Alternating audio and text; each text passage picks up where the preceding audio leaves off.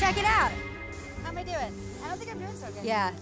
This is what snow looks like at Campgaw Mountain, where there's over five feet of solid snow under my feet. And they're getting ready for the ski season to officially kick off tomorrow. The past 36 hours have been miserable for most of the tri state area, but not here at Campgaw Mountain, where they've been busy preparing for the people relishing in this weather skiers. That's right, ski season in New Jersey kicked off officially today. And I'm here at Campgaw Mountain to check out the conditions that are better than they had hoped for. No one here is happier than Tony Rinaldi. Yeah, cold.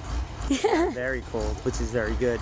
Behind me, I have groomers at work that are putting the snow in the places on the mountain so that their four to five trails can open officially tomorrow for skiers and through the weekend. These guys have been working around the clock, so they're, they're kind of tired. Um, I'd say we we did a fair coverage um, from what we had about a week ago. Uh, we still got more to do on some of the main trails, but uh, compared to last week, this is amazing.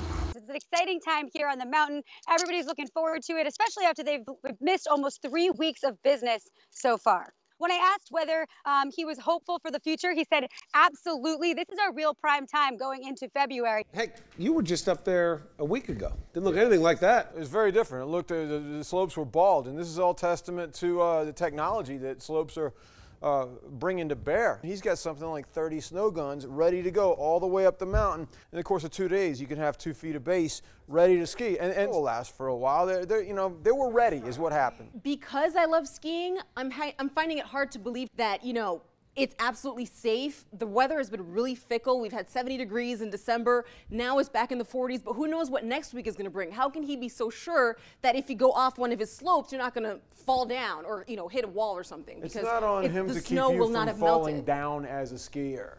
Skiers fall down on their own. They're hard at work to make sure that it's safe enough. Again, like I said, the New, Jer New Jersey announced that ski season officially opened today, but they didn't open the mountain because they didn't think it was safe enough. Is there a bar there for when you're done skiing? There's not. Put your car's in the parking lot and it's got a trunk. Yeah, that won't cause any accidents. Tailgate skiing, baby. I love it.